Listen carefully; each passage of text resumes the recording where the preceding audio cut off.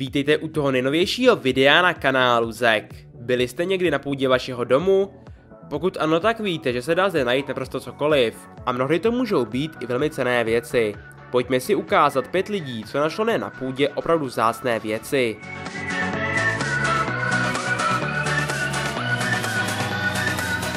Zahraj si spoustu fajnových her pro jednoho nebo dva hráče na novém webu justfun.cz, kde je také spoustu kvízů, testů a soutěží.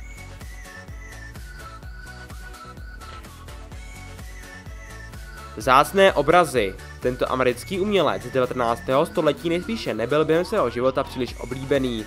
Ten, kdo ale dneska vlastního obrazy tak zbohatl. V roce 1999 hrál anonymní uživatel Indiány stolní hru Masterpiece.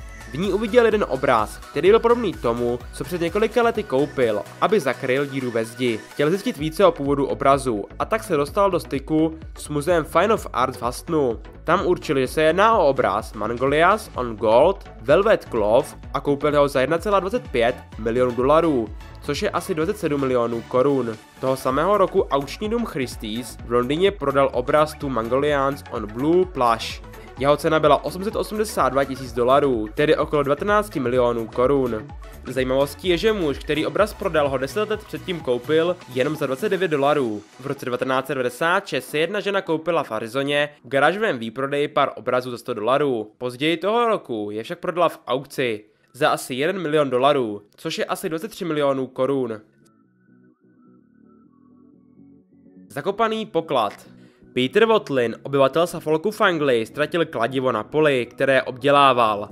Požadal tedy svého kamaráda Erika Lovse a amatérské hledače kovů, aby mu pomohli s hledáním. Když Leaves prohledával pole, tak narazil na cenosti.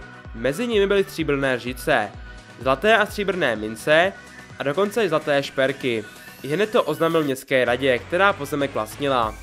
Ta poslala archeologii, aby toto místo prohledali.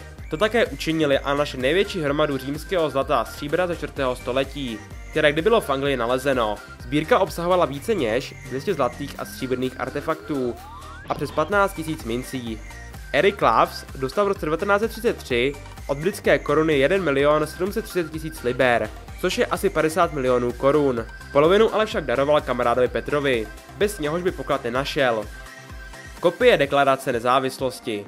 Tu našel nejmenovaný muž uvnitř roztrhaného obrazu, který si koupil za 4 dolary v Adamstone v Pensylvánii. Chtěl hlavně využít rám obrazu, než malbu na něm. Začal ho tedy rozmontovávat, ale sám se rozbil. Díky tomu zjistil, že je v něm schovaný starý dokument. Po nějaké době zjistil, že se jedná o kopii deklarace nezávislosti. Tu nechal udělat kontinentální kongres 4. července 1776. Nikdo neví, jak se mohla tato kopie dostat do tohoto obrazu ale existuje pouze 23 známých kopií. Tato kopie byla v roce 1991 prodána v aukci za 2 miliony 420 tisíc dolarů, což je asi 53 milionů korun. Konec přátelství. Zde se jedná opět o zakopaný poklad, který byl nalezen v Staffordshire v Anglii. Spoustu let žádal Terry Herbert, majitele pozemku Freda Johnsona, o povolení prodat jeho pozemek detektorem kovů.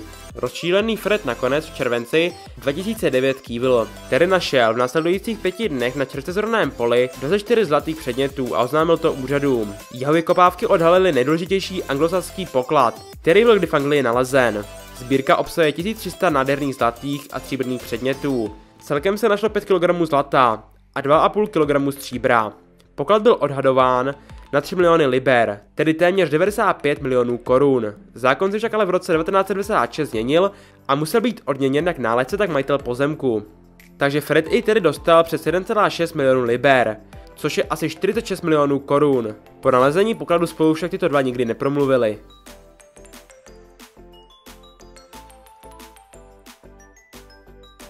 Febergého vejce. Jeden muž si všiml na bleším trhu těžkého, ale zdobeného zlatého předmětu. Ten si koupil asi za 14 000 dolarů a doufal, že ho bude moci prodat s profitem 1000 dolarů. Chtěl ho prodat někomu, kdo ho rozstaví pro zlaté šperky, ale nikoho nenašel. Začal tedy hledat na internetu a když zjistil, o jakou věc se jedná, tak byl ohromen. Vlastnil jedno z Fabergého vajec, takzvaného Third Imperial Easter egg. To bylo zhotoveno pro ruského cara v roce 1887 a vyrobilo klenotník Karl Fabridge. Muž nemohl uvěřit svému štěstí a odletěl do Londýna za expertem, který se zajímá o Fabergého vejce. Samotný expert byl naprosto šokován. Bylo to opravdu to vejce, které bylo více než 90 let ztraceno. Toto vejce se chvíli poté koupil neznámý soukromý sběratel za 33 milionů dolarů, tedy asi 722 milionů korun. Tak jsme už ale fakticky na konci tohoto videa. Jestli se vám tohleto video líbilo, tak bych byl rád, kdybyste moji tvorbu podpořili palcem nahoru, odběrem a sdílením. Loučí se s vámi Zek. Čau čau.